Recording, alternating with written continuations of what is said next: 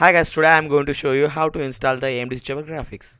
So okay, let's start from the first beginning. You first you have to install the DirectX. You can find the link of DirectX in the description. Okay, now first DX setups. Okay, install it. Agree. Next.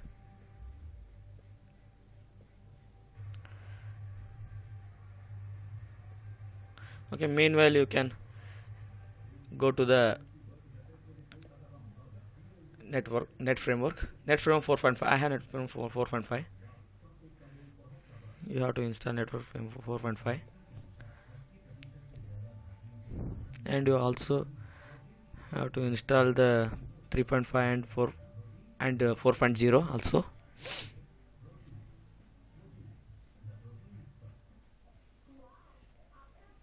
As I already installed it on my PC so I'm not going to install it again okay the DirectX install is completed.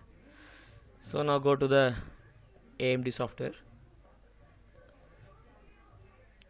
To download this the link is provided in the description.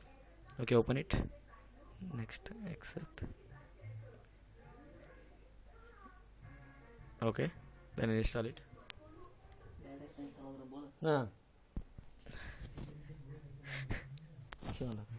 if you can't install the DirectX you can watch my other videos how to install it properly but you have to step follow the procedure correctly. That first you have to install the DirectX then net framework then AMD otherwise it it couldn't install. Or you may get the error like uh, CCC error or something error maybe. But if you do like this you won't get any error.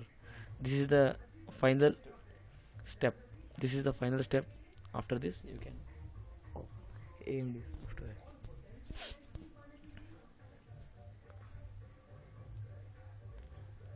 okay it's installing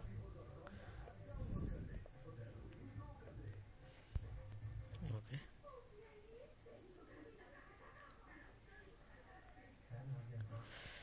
Okay as I already installed the AMD drivers on my PC so I am not going to install it again.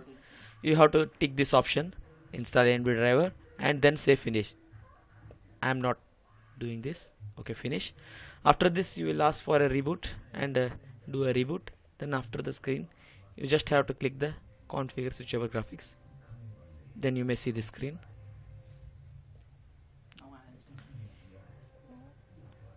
And the graphic properties also. Okay you now you can use the your AMD graphic card instead of uh, the Intel HD graphic card. It is the best graphic card okay? Thank you guys for watching this video